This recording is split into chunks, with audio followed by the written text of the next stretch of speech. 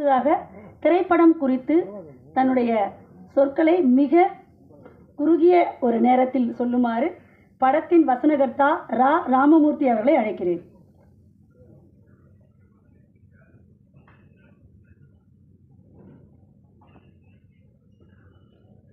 குற்றப்பின்னணி படத்தின் பாடல் மற்றும் ட்ரெய்லர் வெளியீட்டு விழாவிற்கு வந்துள்ள பார்வையாளர்களாக வந்துள்ள கலைஞர்களுக்கும் பத்திரிகை மற்றும் ஊடகத்துறை அன்பர்களுக்கும் ஊக்குவிப்பர் ஊக்குவித்தால் ஊக்குவிப்பனும் தேக்குவிப்பான் என்பதற்கேற்பவும் குற்றப்பின்னணி படத்தை வெற்றி தளத்துக்கு செல்ல வந்துள்ள சினிமாவின் சாதனையாளர்கள் ஜாம்பவான்கள் வெற்றியாளர்கள். இவர்களுக்கும் என் அகமலிருந்த வணக்கத்தை தெரிவித்துக் கொள்கிறேன். குற்றப்பின்னணி படம். ஒரு கிரைம் த்ரில்லர் ஜேனர் சமுதாயத்தில் நடக்கிற குழந்தைகள் சார்ந்த தனிமனித ஒழுக்கமின்மை காரணமாக ஏற்படுற உளவியல் ரீதியான ஒரு அணுகுமுறை தான் இந்த படம்.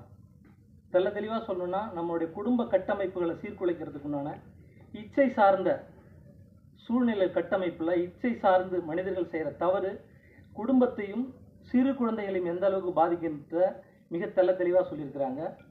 இந்த படம் கிரைம் த்ரில்லர் படம்னா கூட ஜனராஜகமாக எல்லா குடும்ப உறுப்பினர்களும் சென்று பார்க்கக்கூடிய படம். அதை பார்த்ததுக்கப்புறம் நம்ம குழந்தை வளர்ப்பில் வந்து ஒரு மாற்றம் ஏற்படும்னு நான் கண்டிப்பாக நம்புகிறேன் அதுக்குண்டான படமாக தான் இது கண்டிப்பாக இருக்கும்.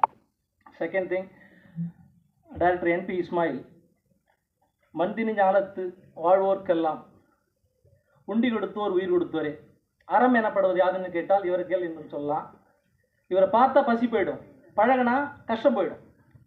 அந்த மாதிரி ஒரு நபர். எல்லாரும் நம்ம பசிக்கும் போது தான் சாப்பிடுவோம்.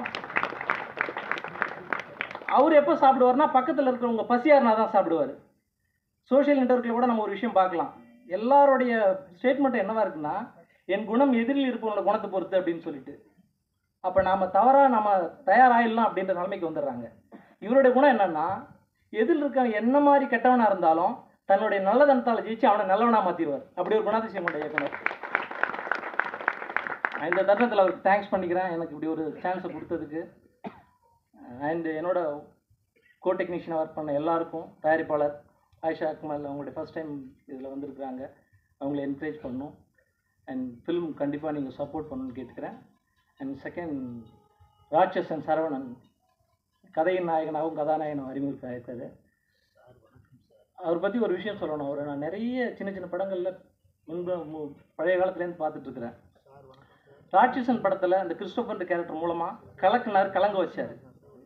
அவருடைய முகம் தெரியாத அரிதார முகம் பூசப்பட்ட முகத்தால் வந்து வந்தார். அவர் யாருன்னே நிறைய பேருக்கு தெரியாது. இன்ஃபேக்ட் ஷூட்டிங் ஸ்பாட்டில் கூட நம்ம தான் இன்ட்ரடியூஸ் பண்ண வேண்டியதாக இருந்தது ராட்சசன் சரவணன் சொல்லிட்டு. உன் உள்ளுவதெல்லாம் மயிர் உள்ளல். உன்னுடைய ஆழ் மனசில் நீ எதை போடுறியோ அதுவாகவே மாறுவ. நீ என்ன கனவு காண்றியோ அதுவாகவே ஆவ. இட்ஸ் பர்ஃபெக்ஷனிஸ்ட் ஹீஸ் பர்ஃபெக்ஷனிஸ்ட் நான் பார்த்துருக்குறேன். எல்லா விஷயத்தையும் மிக சரியாக செய்வார். அவர் ஆழ் மனசில் நம்ம கரெக்டாக பர்ஃபார்ம் பண்ணணும் சினிமாவை கரெக்டாக நேசிக்கணும் சினிமாவுக்குள்ள எல்லா விஷயத்தையும் சரியாக கற்றுக்கணுன்ற எண்ணம் இருந்தது. அதை கற்றுக்கிட்டே வந்துருந்தார். அதனுடைய உச்சக்கட்டம் தான் ஒரு ராட்சசன் படம் பண்ணது. அது அது அது ரெண்டாவது உச்சகட்டம் தான் குற்றப்பின்னலில் ஒரு நாயகனானது. வெரி குட் பர்ஃபார்மர் ஃப்யூச்சரில் நல்ல படங்கள் பண்ணி நல்லபடியாக வரணும்னு சொல்லிட்டு டெக்னீஷியனாகவும் நல்ல நண்பராகவும் நான் வாழ்த்துறேன். அண்ட் எல்லா டீமுக்கும் ரொம்ப நன்றி. எஸ்பெஷலி நான் ஒன்று சொல்லணும். நீரில்லா நெற்றிப்பாடுன்னு சொல்கிற மாதிரி டிஎல் கண்ணப்பன் சார் நிறைய பேருக்கு வாய்ப்பு கொடுத்துருக்கிறாரு. திருநீர் இல்லாமல் பார்க்க முடியாது. உச்சகட்டம். And K. ராஜன் சார் அற்றார் பரிசு தீர்த்தல் அற்றார் அழிபசி தீர்த்தல் அகுதொருவன் பெற்றான் பொருள் வைப்புழி.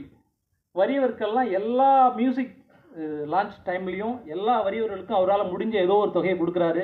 அது எல்லா நேரத்துலையும் என்னுடைய இதயத்தை அவருடைய அவருடைய வருங்கால வைப்பு நிதி எதுன்னா ஏழைகளோட இதயம் தான் அது வந்து கண்டிப்பாக சொல்லணும். அவருக்கு தேங்க் பண்ணணும்.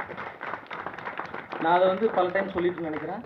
இங்கே இருக்கிறவங்க எல்லாமே கட்டி முடிக்கப்பட்ட கோபுரங்கள். நாம் வந்து கொட்டி கிடக்கிற செங்கல்ல ஒரு கல். நான் ஒரு வேண்டுகோள் தாழ்மையான வேண்டுகோள் வைக்கிறேன். இந்த படத்தோட இசையமைப்பாளர் ஜேஐடி ஜிட் மிக அருமையாக பண்ணியிருக்கிறார். அவர் அவர் விதைச்ச விதை வந்து நல்லா வந்திருக்குன்னு உங்களுக்கு தெரியும். நல்லா மியூசிக் பண்ணியிருக்கிறாரு. என்ன வேண்டுகோள் அப்படின்னா பெரும்பாலும் இந்த மாதிரி இசை வெளியீட்டு விழாக்கள் எல்லாமே அட்வைஸ் மேடையாக மாறிடுது. அட்வைஸ் ஸ்லீப்பாக மாறிடுது. நான் கூட இதை வேண்டுகோளாக தான் வைக்கிறேன். தயவு செஞ்சு மன்னிக்கணும். நான் வந்து நான் கீழே கொட்டி கிடக்கிற ஒரு கல்னு சொல்லிட்டு தான் குறிப்பிடுறேன். வரும்போது அட்வைஸ் ஸ்லீப்போடு தான் மேக்ஸிமம் வராங்க. அந்த படத்தில் யார் பாடினாங்க யார் எழுதுனாங்க அவங்கள வந்து யாருமே குறிப்பிடுறதில்ல யாரையும் கூட்டு வச்சு பாராட்டுறதோ இல்லை முன்னிறுத்துறதோ கிடையாது. இனி வரும் மேடைகள் இல்லையாவது பெரியவங்க நீங்கள் எல்லாம் வந்து தயாரிப்பாளர் சரலாம் இனி வரும் மேடைகள் மேடைகள்லையாவது அந்த மாதிரி விஷயங்கள் பாடகர் நிறைய பேர் அஞ்சு பாட்டுக்குன்னா அஞ்சு பேர் பாடியிருப்பாங்க. அஞ்சு பா அஞ்சு பேர் எழுதியிருப்பாங்க. அவங்கள கொஞ்சம் முன்னிறுத்தணும்னு சொல்லிட்டு இயக்குநருக்கும் வேண்டுகோள் வச்சு தயாரிப்பாளர். அதான் சார் சொல்கிறேன் ஸோ வேண்டுகோள் வைக்கிறேன். மிக்க நன்றி. இசையமைப்பாளருக்கு இயக்குனருக்கு தயாரிப்பாளருக்கு சக டெக்னீஷியன்ஸ்க்கு எல்லாருக்கும் நன்றி. பார்வையாளருக்கும் கலைஞர்களுக்கும் ஊடகத்துறைக்கு நன்றி. நன்றி.